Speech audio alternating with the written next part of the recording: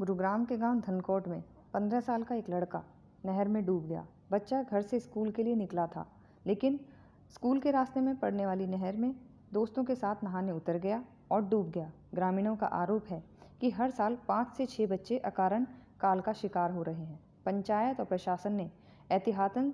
सूचना पट और चेतावनी बोर्ड लगा रखे हैं लेकिन बावजूद इसके बच्चे स्कूल का बहाना बनाकर नहर में नहाने के लिए आ जाते हैं और तैराकी ना आने के कारण काल का शिकार हो रहे हैं